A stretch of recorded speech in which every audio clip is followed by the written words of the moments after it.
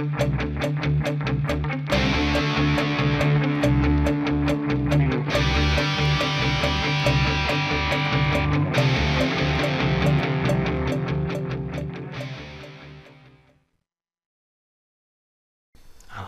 everybody, my name is Piotr Klimai.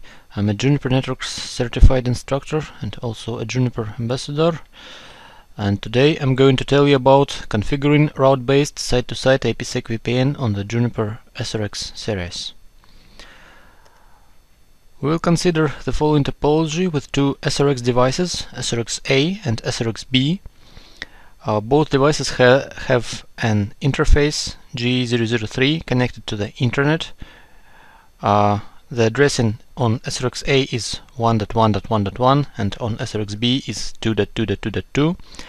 Also, each SRX has a protected network behind it, network A or network B with addressing uh, 10.1.1 slash 24 and 10.2.2 slash 24 respectively. Currently, SRX-A and SRX-B provide internet access to networks A and B, but networks A and B uh, cannot at this time uh, communicate uh, with each other. And what we want to do is we want to create a, a secure tunnel through the internet between SRX-A and SRX-B and to make networks A and B uh, communicate through this uh, tunnel. At this time we, we, can check that host A, for example, cannot ping uh, host B because there is no tunnel uh, yet, uh, no communication between those networks is possible. So from host A I can send the ping to 10.2.2.2 and uh, you see it gets a destination unreachable error what we will do now is we will create a secure tunnel between SRX-A and SRX-B. And we will uh, go with route-based IPsec VPN approach, uh, which allows for separation of VPN configuration and security policy configuration. Uh, we will need to configure Internet Key Exchange uh, protocol to set up a dynamic tunnel uh, between SRX devices and uh, IKE works in two phases. Phase 1, which is a secure channel for communication between devices, which is configured uh, in edit security IKE stanza of configuration. And phase 2 is a particular VPN tunnel for users traffic configured in edit security IPsec uh, stanza of configuration. Uh, we can uh, present uh, this as follows. Two SRX devices uh, set up a phase 1 channel between each other and then uh, using keys of phase 1 they set up a phase 2 channel. And users traffic is encrypted and authenticated using keys of phase 2 uh, so we can uh, say that it uh, so to say it goes inside phase 2 uh, and how exactly we configure route-based IPsec VPN, we first configure phase 1 and phase 2 of IPsec VPN and uh, we also configure a tunnel interface which is st0.x interface and here x is a unit number uh, which can be any number such as 0, 1, 2, etc. And we bind the IPsec VPN to the tunnel interface. Then any traffic that is routed to the tunnel interface through static or dynamic routing uh, goes to this IPsec VPN, if of course security policy permits it. Uh, here uh, configuration on site A is shown. We uh, configure uh, a tunnel interface which is st0.1 in our case. We put it into VPN zone this is not required to create a separate uh, zone for tunnel interfaces, but uh, it is convenient. So we do it. We put the tunnel interface into separate VPN zone. And uh, because uh, traffic uh, sh should go from trust zone to VPN uh, from the perspective of SRX device, the security policy must be configured between trust zone and VPN zone. The actual IPsec packets go out of G003 interface in the untrust zone, uh, but uh, note that no policy is needed between VPN and untrust zones in this case. However, host inbound traffic must be enabled on the untrust zone for Internet Key Exchange uh, protocol. Configuring IKE phase 1 uh, will requ require several steps. Uh, first step is configuring IKE proposal, uh, which is basically a, a set of algorithms and some other parameters of the tunnel. Here we choose uh, authentication and encryption algorithms, uh, Diffie-Hellman group and lifetime, also authentication method for this tunnel. Then we configure IKE policy which references the proposals which we configured before. We choose the mode of IKE which can be main or aggressive, we choose main in our case, and we enter the pre-shared key for this tunnel. Uh, the last step is we configure IKE gateway which references the IKE policy and we configure uh, the external interface under IKE gateway. This is the interface in the untrust zone. Also address for IKE gateway is the address of the remote SRX device. We also here configure uh, host inbound traffic system services IKE on the untrust zone.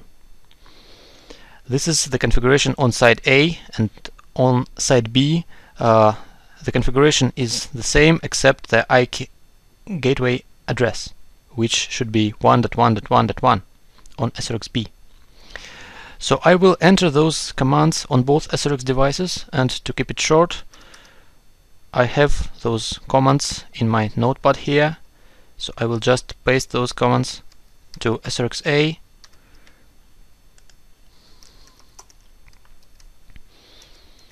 and to SRXB but I just need to change the IKE gateway address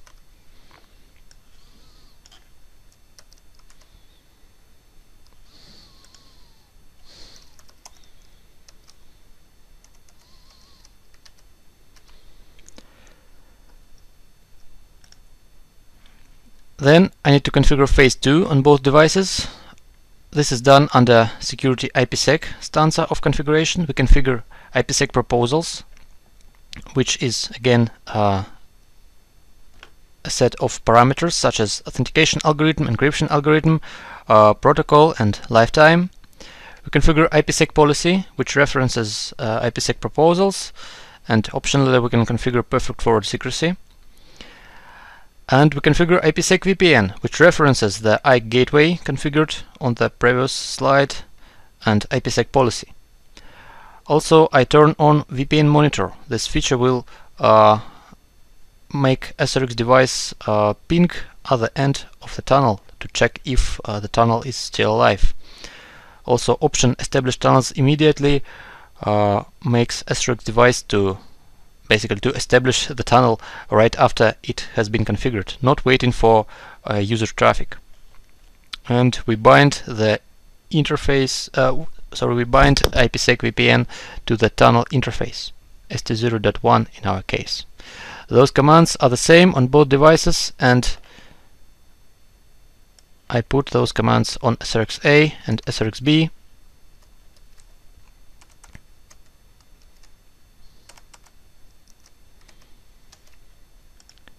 Now we need to configure tunnel interface and routing. On both devices we configure ST0 interface uh, with unit 1 and put fam family INET on it and we put this interface ST0.1 in VPN zone. And then we configure static route. Uh, on SRXA we tell the device that network B, which is standard to the 2, is behind uh, this tunnel interface and on SRXB we configure route to network A uh, through this tunnel interface. So these are commands for SRX A and similar commands on SRX B with the route to network A.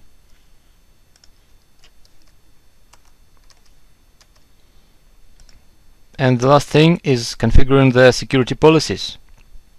So we need to configure policies between trust zone and VPN zone to allow traffic and uh, for simplicity, we configure we allow all hosts in network A to communicate with all hosts in network B in both directions.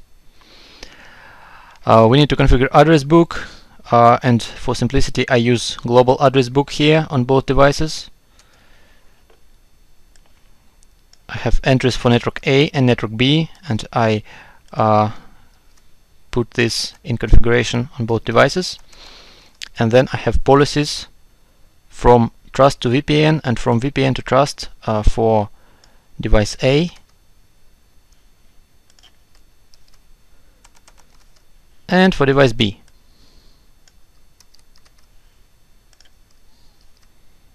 And of course I need to do a commit on both devices. So now I expect that uh, IPsec VPN will go up and I will be able to check it with the following commands. Show security IKE security associations shows us the status of phase 1.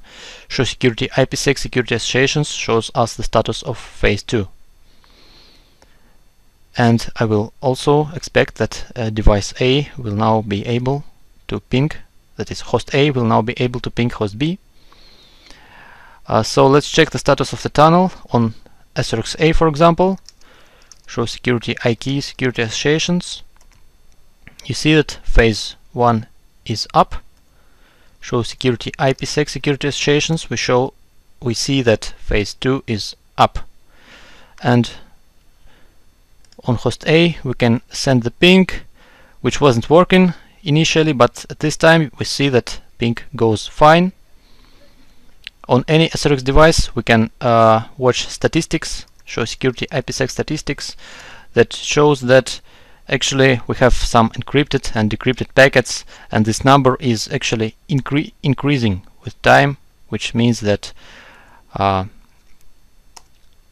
the traffic is actually encrypted and decrypted. Another useful command is show route which which is supposed to show us uh, that traffic is actually directed to the tunnel interface and here we see that on SRX-A the traffic that goes to network B to, to network 10.2.2 slash 24 is actually routed to the tunnel interface.